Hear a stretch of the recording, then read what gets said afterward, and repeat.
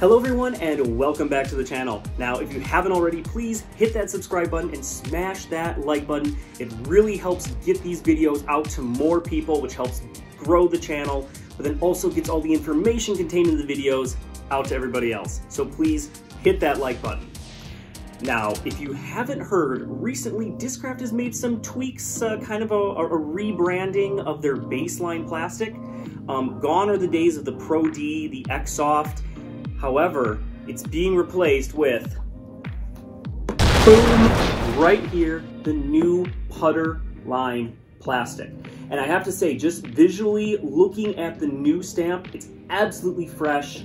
Love it. Absolute fire. Discraft really knocked it out of the park with this.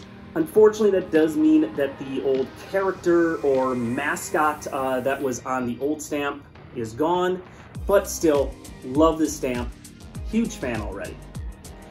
Now, so far, we know that this plastic is coming in both, this is uh, considered the hard plastic, but then also coming in soft as well. Now, I don't have an example of the soft yet. However, that is currently tracking at the moment, so once that comes in, we'll get a video out to you, hopefully within about the next one to two weeks here. Stay tuned for that. So to kind of kick things off with the disc here, let's go ahead and take a look at the profile compared to, well, the Pro D. And, you know, not the best camera angles and whatnot, so it's kind of hard to see, so I'll put pictures down at the bottom with clear image. Really not too much of a difference with the mold. I mean, it's the same mold. You're, you're not going to get a whole lot of variances. Um, now, Pro Ds, you know, there are some that were a little domey, uh, flat like this one, and also puddle topped. So far with the putter line, I have, uh, the, all the ones that I have are very flat on top. Um, haven't run across any puddle top or domey ones, but I have at least been reading through from what people have that they, there are a few puddle tops out there. So at least for the profile wise, no surprise, no real changes there.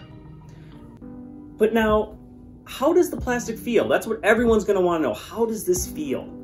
You know what? It feels absolutely amazing. If you like the Pro D, don't worry, you're gonna like this.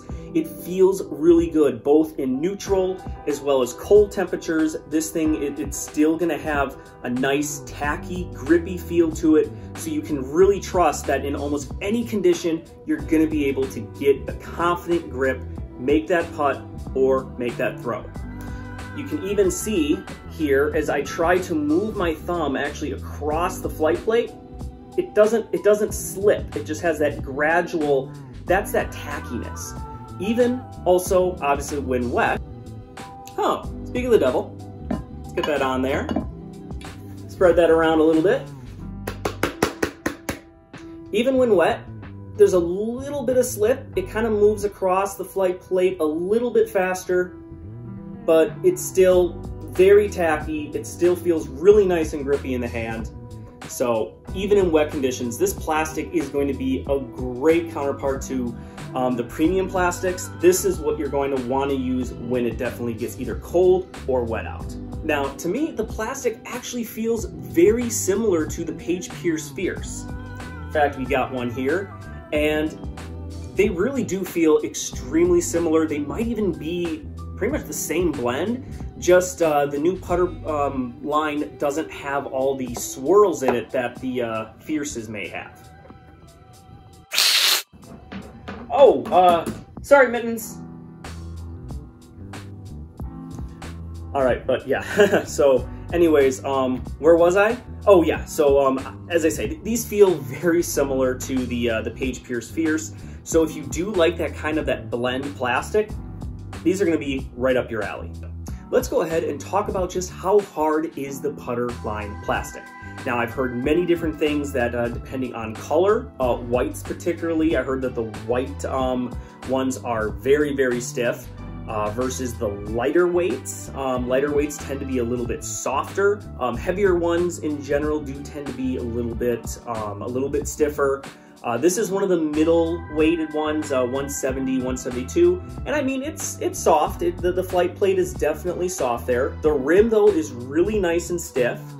Um, it, it, gets a little bit of wobble. You can bend it a little bit if you give it some force, but still very stiff, very sturdy. one of the more lighter weight ones, and it is it is flexible. Definitely. Um, I don't know if I'd call it extremely um, different from the middleweight, but I am noticing that it is a little bit softer, at least in the flight plate. Not necessarily as much on the rim, but definitely in the flight plate when compared with a max weight, again, it's it it is noticeably stiffer on top. I will say there is not getting nearly as much bend on top. So if you're wanting a stiffer plastic, more like the stiff Pro D, and you can't find um, a white, I'd say go for max weight. That is probably going to give you what you're looking for. But again, it, even though it's stiffer, it still has that amazing tackiness and feel. For me, personally though, I don't like super stiff putters. I'll probably go with one of the mid weights, but I'm even still happy that even the heavy ones are not super stiff.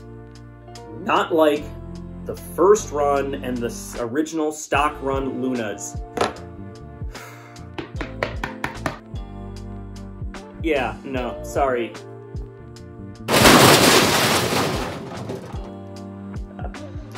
I'll clean that up later. Now, I wanted to do a durability test uh, with the new Putterline plastic. Unfortunately, Mother Nature has hit us in full force and we have absolutely terrible weather going on right now for at least the next couple of weeks. So I'm going to probably do a second video as it gets closer to spring and it warms up a little bit. And in that video, we're gonna take a look not only at the flight see how different, if there's any differences between the flight between the Pro D and the new uh, Putterline plastic, but also a durability test as well. So I think what I'll do is I'll play a full round with both discs, film it, show you the different lines with follow flights or whatnot, and then afterwards also do maybe about 50 putts with each and see just kind of showcase what the wear looks like after a full round and a full set of putts. We'll see. I'm hoping with the slighter price tag that these have, that these have gone up in price compared to the Pro Ds. Um, I'm hoping that means that the durability has also been increased and that they will last longer. All right, everyone. Again, thank you all so much for watching. Please, again, subscribe. Hit that like button if you haven't already. Please hit that like button. Till next time, everyone. Keep banging them chains.